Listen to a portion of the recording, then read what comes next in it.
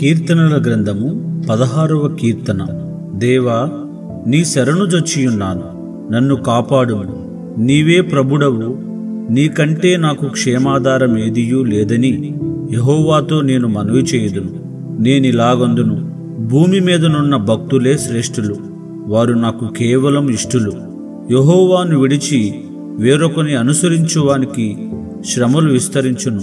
వారర్పించు రక్త పానీయార్పణములు నేనర్పింపను. వారి పేళ్ళు నా పెదవులనెత్తను యహోవా నా స్వాస్థ్య భాగము నా పానీయ భాగము. నీవే నా భాగమును కాపాడుచున్నావు. మనోహర స్థలములలో నాకు పాలు ప్రాప్తించను. శ్రేష్టమైన స్వాస్థ్యము నాకు కలిగెను. నాకు ఆలోచనకర్త అయిన యహోవాను స్తుతించెదను.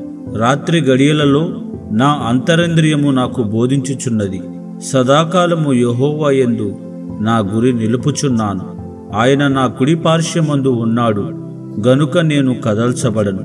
అందువలన నా హృదయము సంతోషించుచున్నది నా ఆత్మ హర్షించుచున్నది నా శరీరము కూడా సురక్షితముగా నివసించుచున్నది.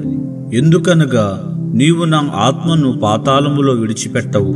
నీ పరిశుద్ధిని కుళ్ళు పట్టనీయవు. జీవ మార్గము నీవు నాకు తెలియజేసేదవు. నీ సన్నిధిని సంపూర్ణ సంతోషము కలదు. నీ కుడి చేతిలో నిత్యము సుఖములు కలవు.